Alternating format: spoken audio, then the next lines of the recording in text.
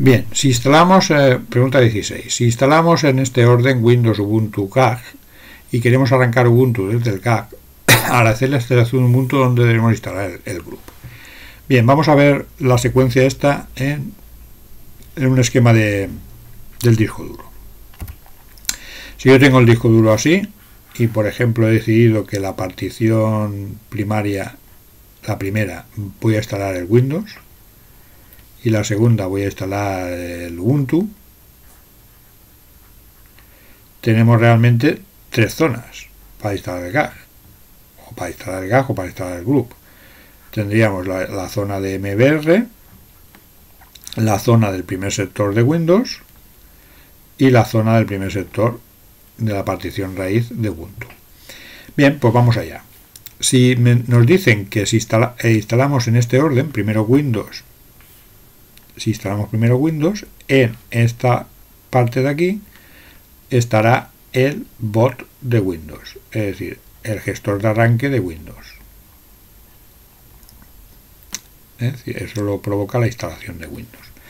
Después, si instalamos Ubuntu, tenemos dos opciones. Podemos instalar el group aquí o podemos instalar el group en el Masterboard Record.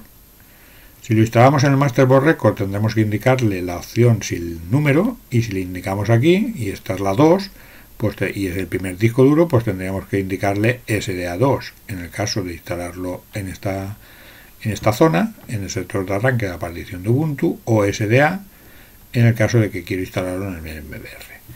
Y después instalo GAG. ¿El GAG dónde lo puedo instalar?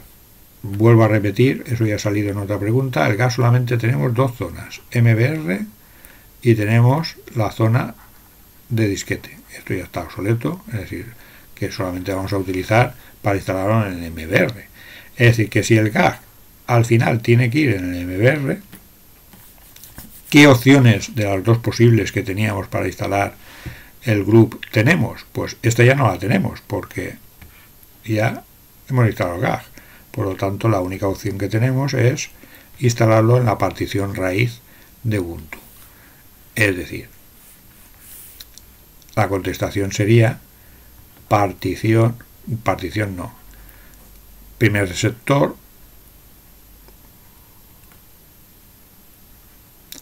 de la partición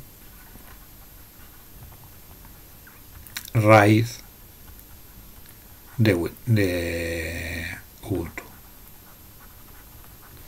Bien, y con eso hemos acabado por eh, solucionar la pregunta 16. Hasta luego.